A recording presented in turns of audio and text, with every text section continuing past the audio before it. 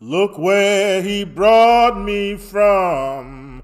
Oh, look where he brought me from. Well, he brought me out of darkness into the marvelous light. Look where he brought me from. Oh, look where he brought me from. Oh, look where he brought me from. Well, he brought me out of darkness into the marvelous light. Look where he brought me from. Oh, he brought me from a mighty long way. Well, he brought me from a mighty long way. Yes, he brought me out of darkness into the marvelous light. Look where he brought me from. Oh, you don't know how glad I am. Yes, you don't know how glad I am. Oh, he brought me out of darkness into the marvelous light. Look where he brought me from. Oh, look where he brought me from. Oh, look where my God brought me from, brought me from. Yes, he brought me out of darkness into the marvelous light. Look where he brought me from. Amen. Amen. Amen. This is your obedient servant, Reverend George Latimer Knight. Oh, I'm thanking God for that wonderful song I learned as a child over on 2281 Pierce Street, the old headquarters of the UHSC. Oh, those days will forever live in my heart and mind. Look where he brought me from. He brought me out of darkness into this marvelous light. Look where he brought me from. You don't know how glad I am Oh, saints of God, my dears, my brothers, my sisters, you just don't know how glad I am this morning. He brought me out of darkness into this marvelous light. Look where he brought me from. Our devotional reading, oh, hallelujah, will come from Psalm 91, verses 14 through 16. Because he has set his love upon me, therefore will I deliver him. I will set him on high because he hath known my name. He shall call upon me, and I will answer him. I will be with him in trouble. I will deliver him and honor him. With long life will I satisfy him and show him my salvation. Amen. Today, I'd like to share three powerful universal principles taught by Father Hurley and many others of a spiritual persuasion. Number one, to speak is to create. Number two, we believe in mental telepathy and thought force. Number three, we believe that thoughts are spirit, and to think of a thing is the prophecy of its fulfillment. Our subject today is manifestation and creation still work. Manifestation and creation still work. The modern world is going through an unprecedented ordeal. Even the calmest among us have the natural fear and uncertainty of the situation gnawing away at their unconscious mind. My brief message this morning is simple. Don't let the stress of the times cause you to say destructive words or think destructive thoughts. Why? Because manifestation and creation still work. This unprecedented time may turn out to be one of the best times for creating in our collective lifetimes. What excuse do most of us have now? Most of us have more time available time than ever before. Why not think on your plans, your goals, reassess your entire life? Yes, even amid death, sickness, and pestilence, the fact is that the vast majority of us will live to see the other side of this global pandemic. There will be trauma, pain, and grief lingering, to be sure. But we can't ever forget that manifestation and creation still work.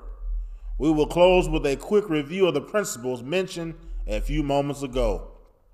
Number one, to speak is to create. Yes, what we say matters. What we say matters. Our words matter. There's an old saying, sticks and stones may break my bones, but words will never hurt me. Well, we all know that's a lie.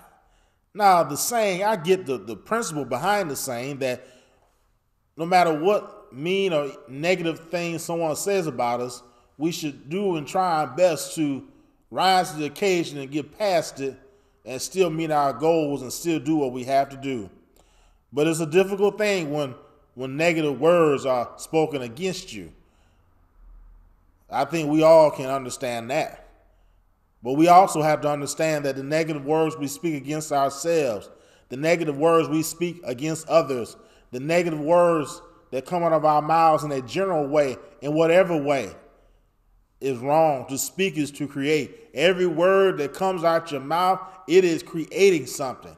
So don't let this time, this, this time of crisis, this global pandemic, this virus, don't let it get in your mind so much to where you are allowing a lot of negative things to spew out of your mouth during this time.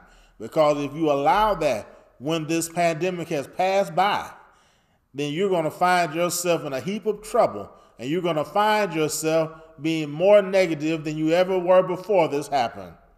Some of that will be the, the trauma, pain, and grief, yes, but also will be because too many of us, I'm including myself in the us, are speaking too many negative words. We've got to turn this thing around. We have to start speaking life.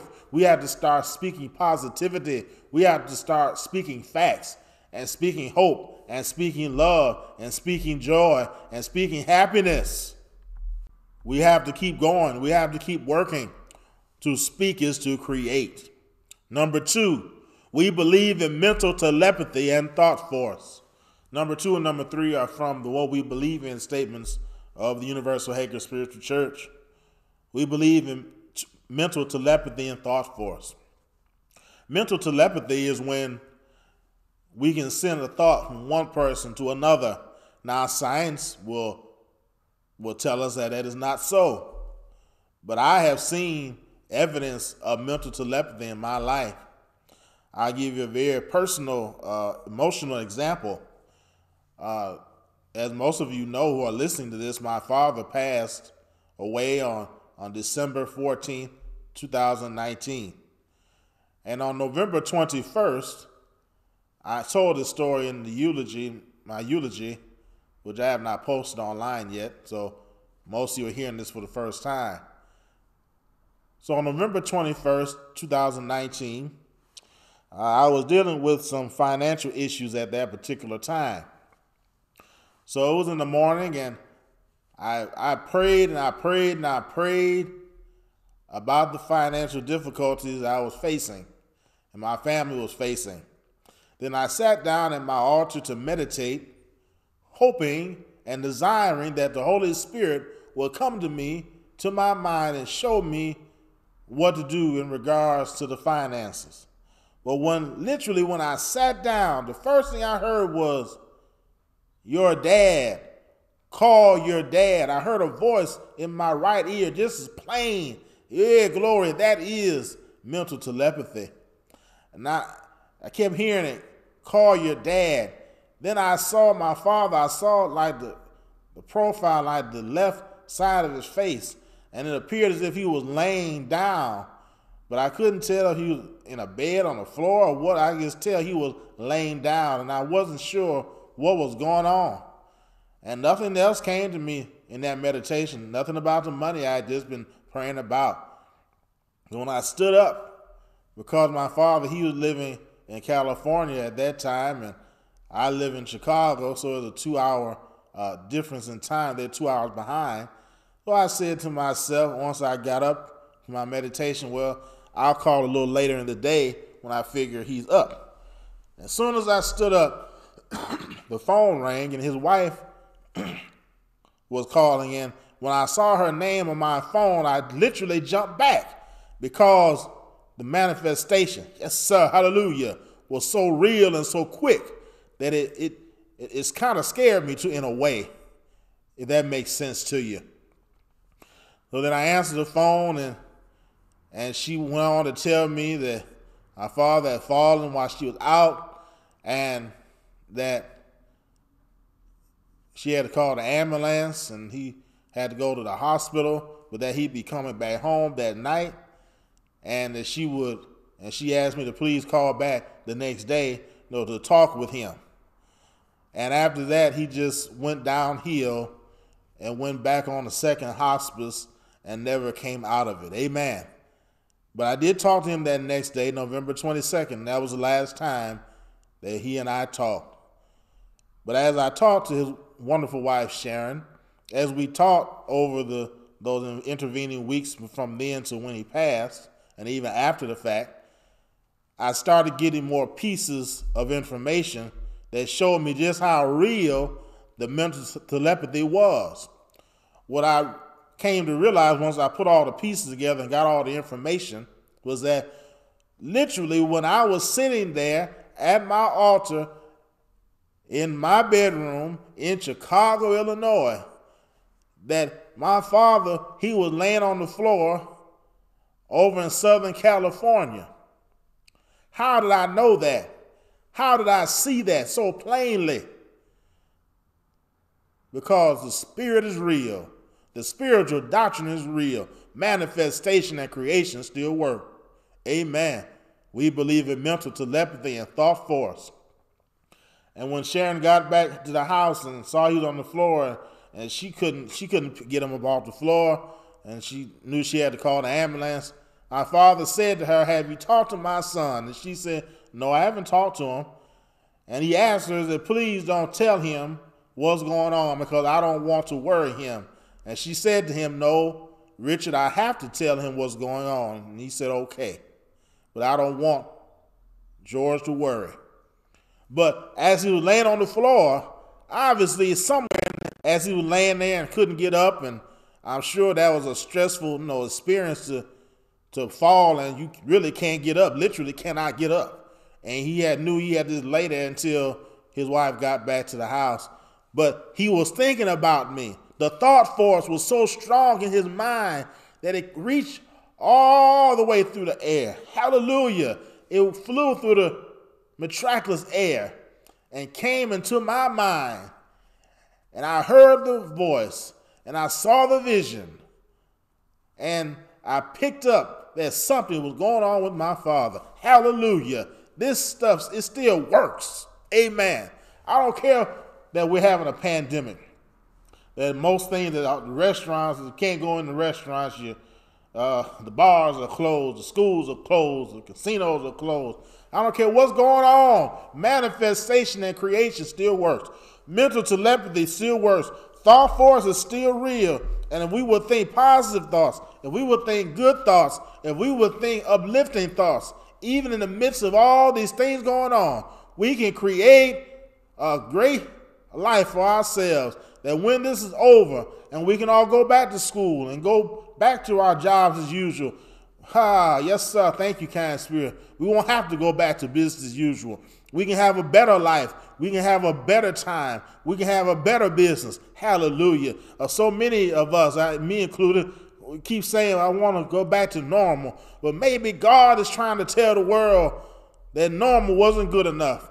And once the world gets through going through all this pain and and woe and misery. Amen. Maybe not all of us, not most of us, but some of us, I do believe, will realize that the life we were living before this thing started really wasn't the best. And we can do better, and we can be better, and we can have better. Oh, I was just thinking that this morning uh, I was laying in the bed. I, I couldn't sleep last night. I kept waking up, waking up, waking up. I woke up at 1 a.m., 4 a.m., 5 a.m., 6.30 a.m. Woke up again a little after 7 when the three daughters came in the room and wanted to talk. Amen. I kept waking up. Why? Because I realized that manifestation and creation still works. Number three, we believe that thoughts are spirit, and to think of a thing is a prophecy of its fulfillment. Thoughts, the thoughts we think, every thought we think is a spirit. The thoughts we think are real and tangible. Yes, sir. And they can go from one person to the other. They can go from the television screen to our minds. They can go from the YouTube channel to our ears. And those thoughts, those spirits, the things I'm telling you, I am creating spirits right now with the words I'm speaking. And you are receiving spirits right now as you listen uh, to my voice. The question is, what will you do with these good spirits that I'm sending out this morning? What will you do with them? Will you let them go in one ear out the other? Will you just click and end the video and say whatever? Or will you start to think? Go over to the, uh, if you're able to go out, go over to the office supply store or, or one of the other Walmart or Walgreens or CVS or something or other. Get you a notebook. Start journaling. Figure out what you want to do with your life. You can rebuild your life right now in the midst of all this going on. We believe that we believe the thoughts are spirit, and to think of a thing is the prophecy of its fulfillment. Now, just because you think a thing doesn't mean it's going to it's guaranteed to happen, but it's the prophecy. The way I what I think, when I think a thing, what I'm saying is I want this to happen. That's what I'm saying. When I think something that I'm saying, I want this to happen. I am looking for this to happen. Hallelujah. Amen. When I think of a thing, I am predicting the future that the thing or things I am thinking will manifest themselves. So now look at the stuff you're thinking about. Do you really want the things in your head right now to manifest? Some of us, some of the things, yes. But I can admit personally, some of the things I've been thinking lately, I don't want any of that stuff to happen. It has been negative things running through my mind. But Father Hurley said, told us, he said, if you don't want something to happen, don't think about it. So why are we up here thinking about things that we don't want to happen? We got to move all doubt, all fear, all uncertainty out of our minds. I know it can be difficult, especially with this global pandemic we're in the midst of. But oh, if we can do it even just for five or 10 minutes, 15, 20 minutes while we meditate, we can get some quiet time and write in our journals and write some notes and try to get some of the thoughts out of our minds of what we want to do. And not just in the future, but even in the midst of what's going on. Get a plan. Get get everything in order. Amen. Take advantage of whatever free time you can muster. Get yourself organized. Get your household organized.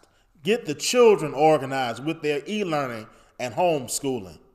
We as a human race can emerge from this crisis stronger than ever. You and I can emerge from this crisis stronger than ever. I hope you receive something good. I see, ah, yes, sir. I sent out a many good spirits in this recording. I hope you get catch at least a few of them and make something to work. And I'm sure the Spirit will give me some more thoughts from these things when we meet again next week. May the Lord bless you and keep you. May the Lord make his face to shine upon you and be gracious unto you. May the Lord lift up his countenance upon you and give you peace. Amen. Amen. Amen.